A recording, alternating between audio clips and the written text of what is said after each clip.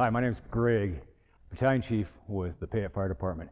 Today we are going to be doing some demonstrations on some different ropes that we're going to use in technical rescue. Uh, I'm going to go ahead and start off with doing a butterfly knot. I'm going to go ahead and do it two ways. So the first way is one that's taught quite a bit um, and shown, and that is you just lay the rope over the top of your hand. Wrap it one more time. Make sure you have a separation. And then your third wrap, just go into the center of that. Now you're going to take that outside loop, bring it to the inside of your palm, and wrap it completely under the two uh, loops that you've already done. Kind of pull it together so it's like that, and then you're going to snap it into position.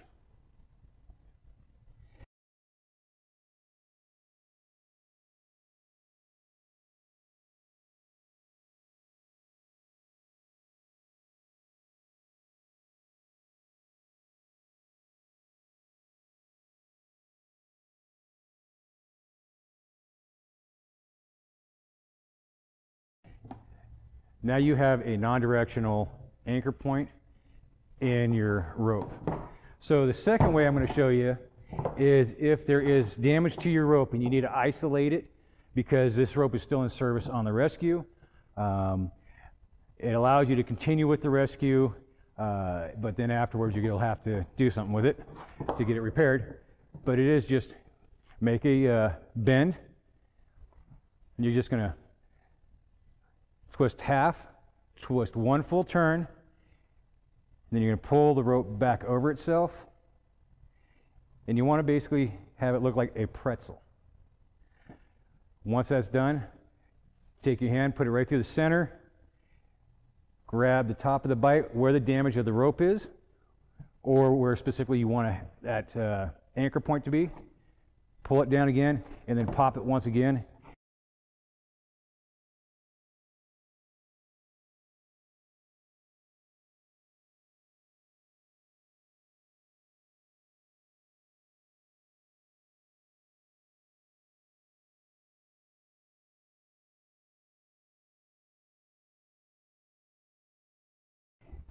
And there we have the butterfly two ways.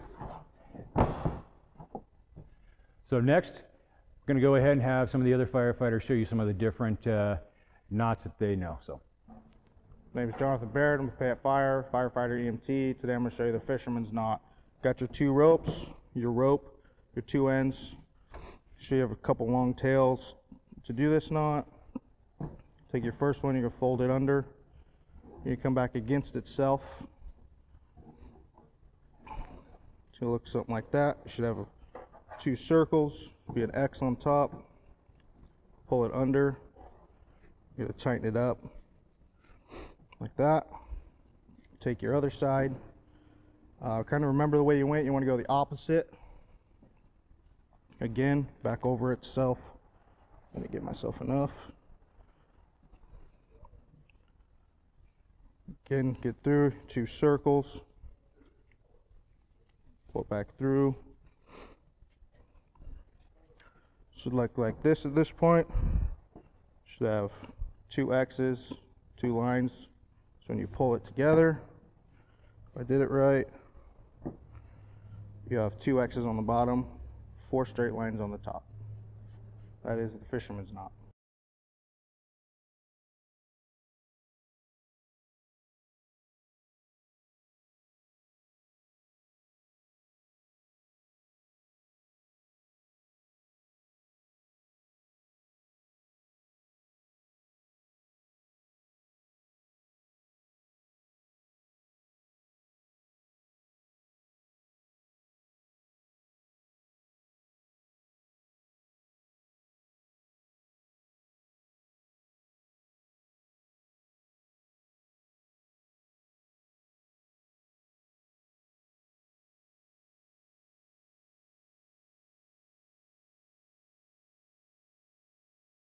Uh, you could use it for uh, tying a prusik to put on a line. Um, be used as an anchor point. How's it going? My name is Tony Long. I'm a captain here at the Payette Fire Department. Today I'm going to be showing you a figure eight, a few different ways to do it. Um, today we're going to start with a normal figure eight. I'm going to do it with a small rope. Um, this is the way I tie it. Um, all I do is I take uh, two twists, I run it right through. There's your figure eight. Pretty simple.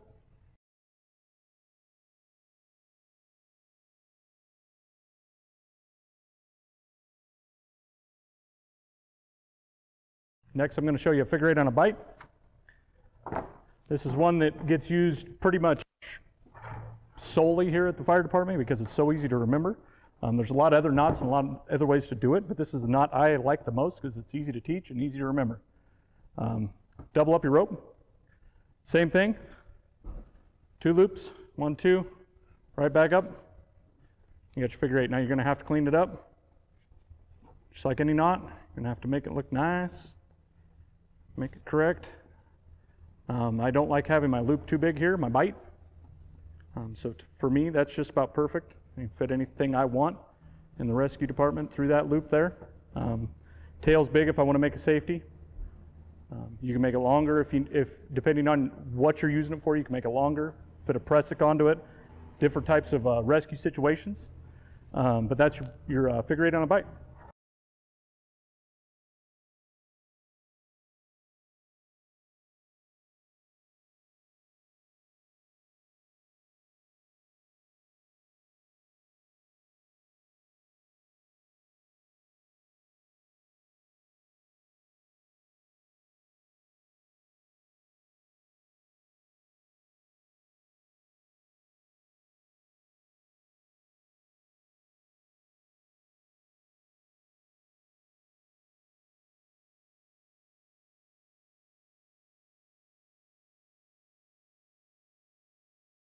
So now I'm going to show you a figure eight um, with a follow through. This will work if you don't have, uh, if you need to connect both sides. Let's say you're going around a large object um, and you're going to follow it through with the back, the back side of the tail. So first you make your figure eight. So one, two, pull your loop through. Well, two, pull your loop through.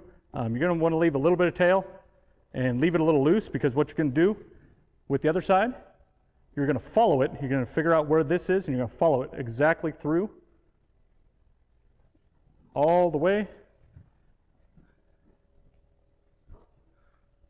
Need a little more. Following it through, following it through.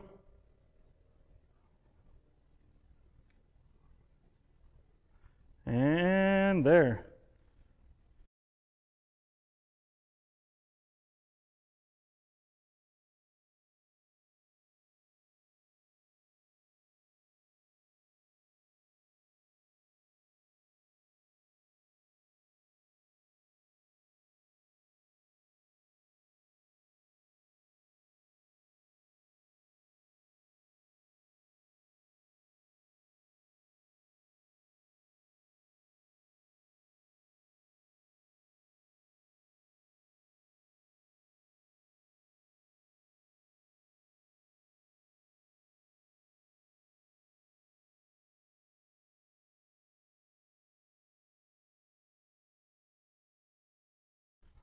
Well, that's a great way to tie it together. Now, the more the more you're going to clean it up, just like any figure eight. If you need to, you tie your uh, tie your safeties, and that's figure eight on follow.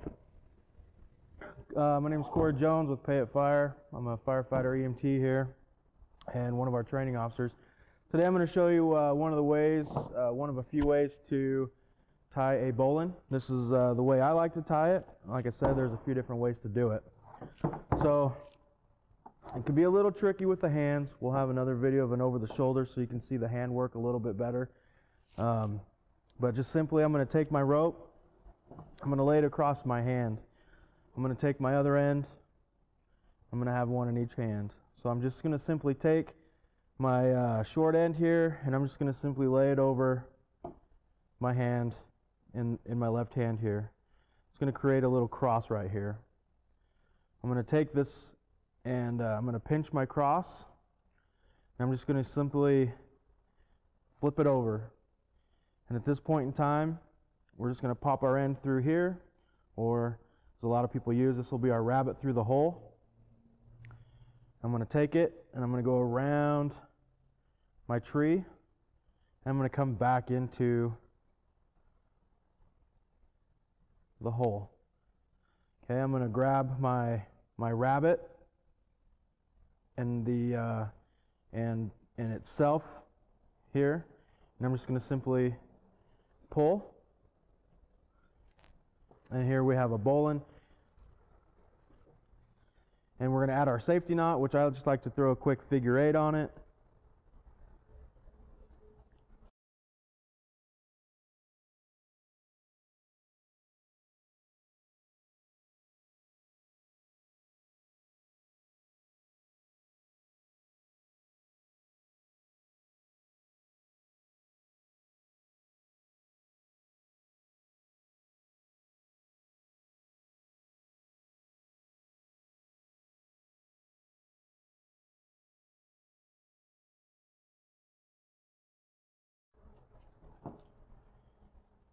Giving me my bowline with a safety. All right, now our last uh, knot that we're going to be demonstrating today is going to be the water knot. This one is where we can join uh, two pieces of flat webbing to make a strap with, extend the length of, and this will be good for uh, creating anchors, uh, creating uh, some harnesses uh, out of webbing if need be. So first of all, we're just going to take and do a simple, quick overhand knot. And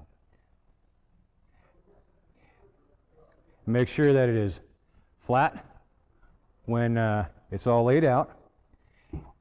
Next thing you do is you're going to just do a follow through, similar to what you did with the figure eight follow through. Is you're going to follow the lay of the water knot, and once it is all laid together. Go ahead and tug each strap of the webbing to tighten it up. And that is a water knot. Now, if you want, you can extend the tails out further and also add a safety to it.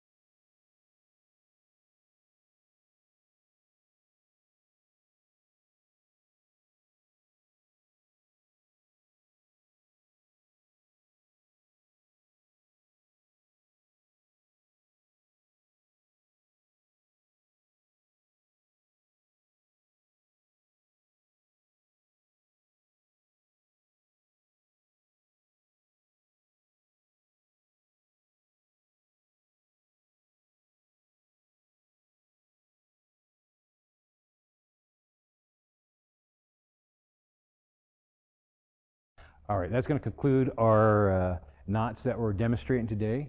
Hope this helps you out uh, with uh, your knot tying abilities. Uh, in our next video, we're going to be doing some rigging of systems for haul and also belay. So hope to see you on the next one.